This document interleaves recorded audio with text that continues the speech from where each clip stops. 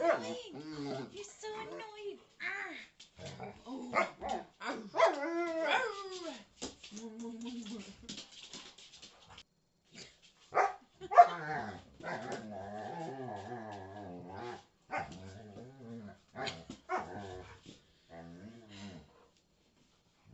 Jag, jag, tänkte, jag tänkte göra en video om er här. Kan jag få göra det? Ja, det är bra. En vinkeln i alla fall. Ja, men jag tänkte... Jo, hej! Jag tänkte svara på lite frågor gällande mina hundar idag.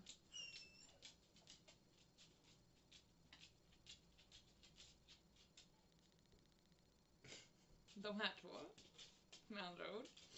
Um, ja, ja, men jag tänkte, kan jag få... De där två. Eh, ni har ju säkert eh, sett dem i några av mina vloggar och sådär. Så min, min tanke idag är att helt enkelt svara på lite frågor som ni har ställt. Ehm, och jag tänkte väl ta dem som jag får, eh, vad heter det? Som jag får, som folk frågar mest. Helt enkelt. Ehm, den största frågan jag får, det är ju vilken ras de är. Eh, och grejen är så här. De är blandraser. De kommer från Rumänien båda två. De är bröder. Eh, och de har lite allt möjligt. Så att det, det, vad jag vet så är det schäfer, labrador, det ser man ju väldigt mycket på den svarta.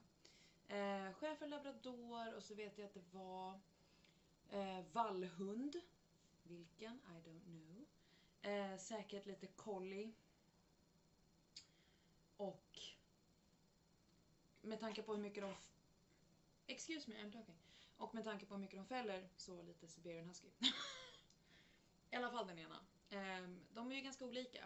Eh, det enda, som, alltså enda sättet att se att de är syskon det är om man tittar på tassarna. För de har likadana spräckliga tassar liksom. De heter Colt och Cody. Eh, den svarta heter Colt och den bruna heter Cody. Um, gillar de att äta några speciella och konstiga saker? Ja, alltså så här. När jag skaffade dem, eh, de kom hem till oss eh, dagen innan nyårsafton.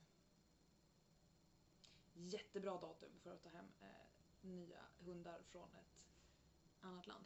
Ehm, men då hade vi köpt märgben till dem, alltså ni vet den här saftiga ben. Eh, men de fattade inte vad det var. För de hade aldrig fått godis innan eller liksom så här goda grejer. Så att de fattade ju inte vad det var så de åt dem inte. Och det var kanske inte jättebra. Men det är liksom det, är det. De, de äter liksom inte de här klassiska hundgrejerna. Um, men något som jag har hittat som funkar fantastiskt bra är Kalles Kaviar. Det är deras absoluta favorit. Kalles Kaviar funkar till allt. Nu har jag hår i munnen. Eh, vilka tricks de kan. De kan sitt, de kan ligg, eh, upp, tass, eh, prata, alltså skälla. Eh, gå och lägga sig i boxen på jobbet. Så jag är med dem på jobbet. Eh, och då kan de att de ska gå och lägga sig i boxen. Alltså att de får inte springa runt och leka. Eh, de kan vänta, de kan kom. Ja, det är nog de tror jag. De mest eh, användbara.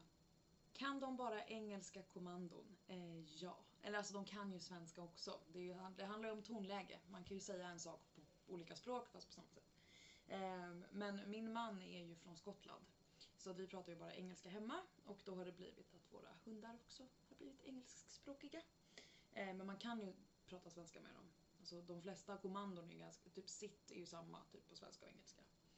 Eh, och sen, ja men tonfallet man säger saker på.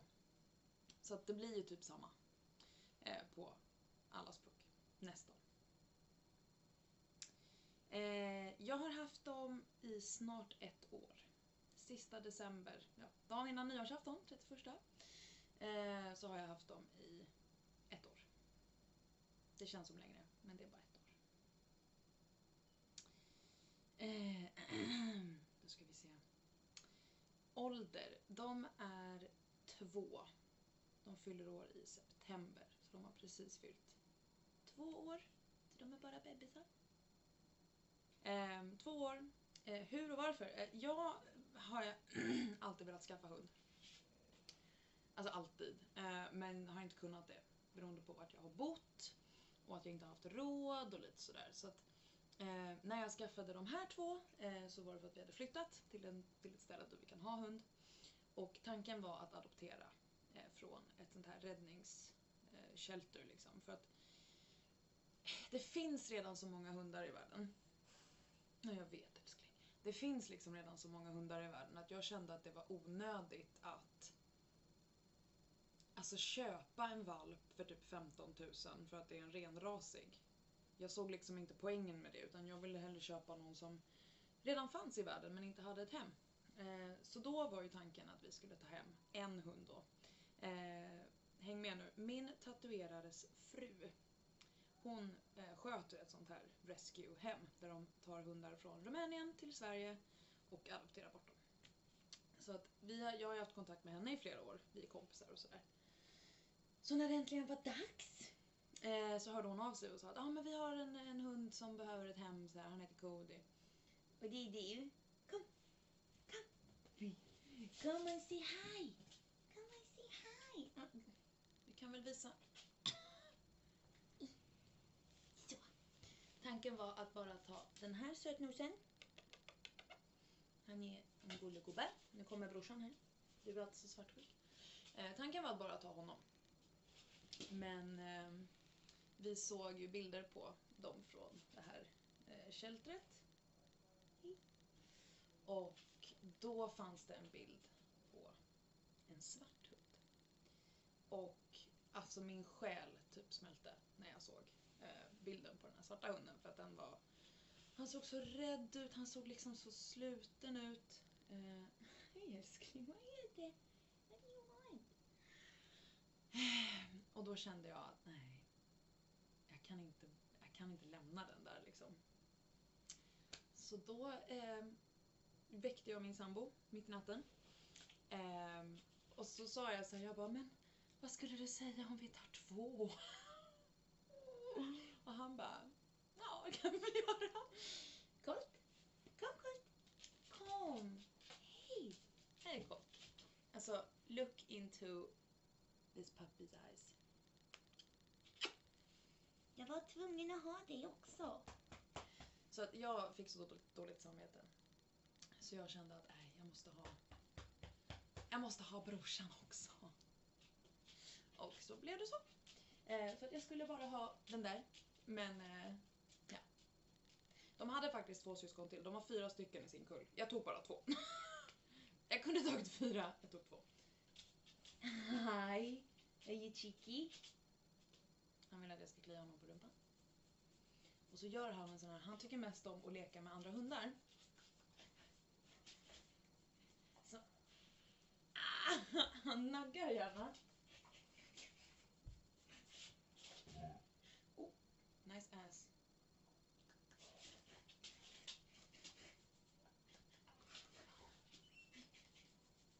Cheeky? Så att han, eh, han måste man liksom leka lite med som en hund. Eh, Cody är mer med människor. Ehm, eller hur? Han är lite mer liksom... Ja, men han, han, han förstår människor lite bättre. Colt är mycket mer en hund, hund, om ni förstår vad jag menar. Han är väldigt skygg för nya människor, han tycker det är jätteläskigt. Eh, han älskar att vara hemma. Det är bästa platsen han vet. Eller hur? Hi baby. Och sen så tycker han ju om mig och min sambo, men det är bara för att han bor med oss. Eh, men Cody är mycket bättre när det gäller eh, nya människor. Jag vet att det är jättemörkt, man ser inte dem så bra. Eh, men han är brun och han är svart. Eh, hur är de i stallet? Eh, jättebra. Eh, Colt har en tendens att jaga saker. Mest råttor.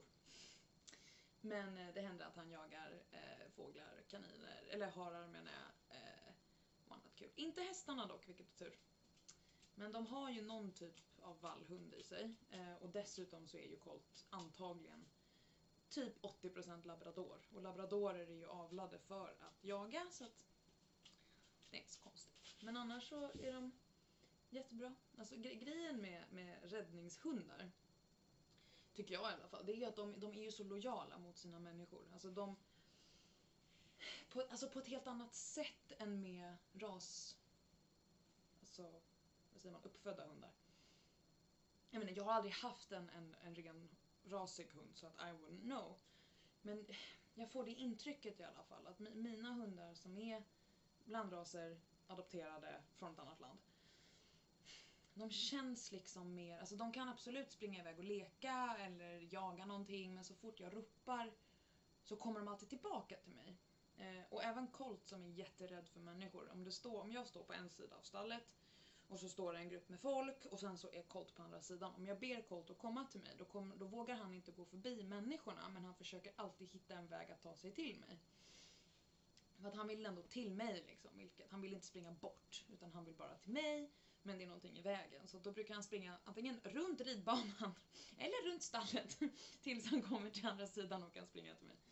Så att de är väldigt, väldigt, väldigt lojala på ett sätt som jag tror att andra hundar kanske inte är lika mycket i alla fall. Men det, jag tror att det är bland, blandrasen kombinerat med att de är adopterade.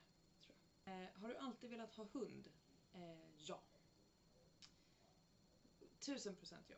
Eh, jag ville ha, ha hund även när jag var liten men mina föräldrar var inte intresserade så det blev inget. Ehm, men jag har alltid velat ha hund. Eh, och nu när jag har hund, jag började inte med en utan jag tog två. Jag vet inte, det, bara, det känns liksom som att livet på något vis... Jag vet inte, det kändes liksom inte som en stor grej om du förstår vad jag menar. Alltså det, det kändes mer som en sån här, det var en sån självklarhet att det bara var så här, men nu har jag dem och så... Ja, det var... That's it! Det var lite så det kändes. Ehm.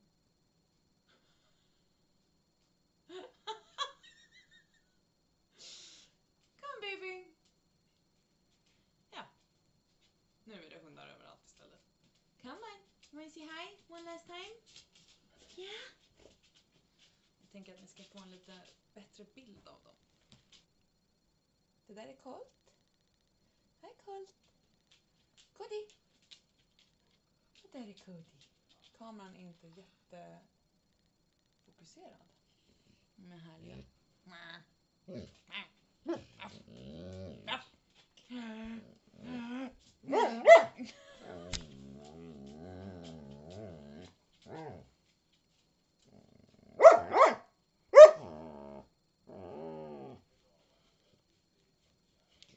Cody är väldigt pratsam av sig kan jag säga. ね。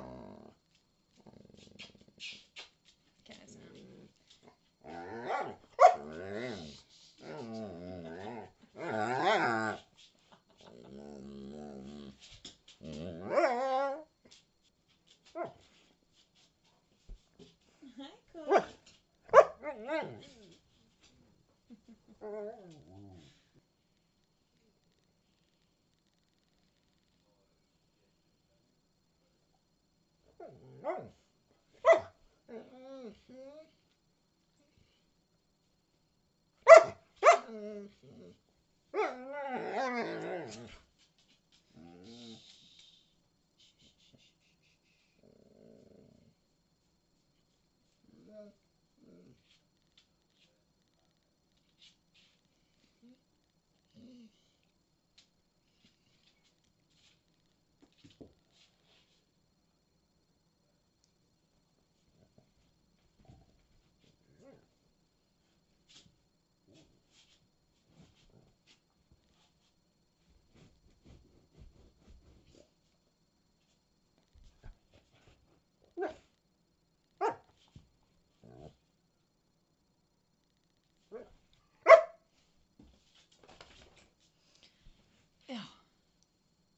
Det var allt jag hade att bjuda på idag.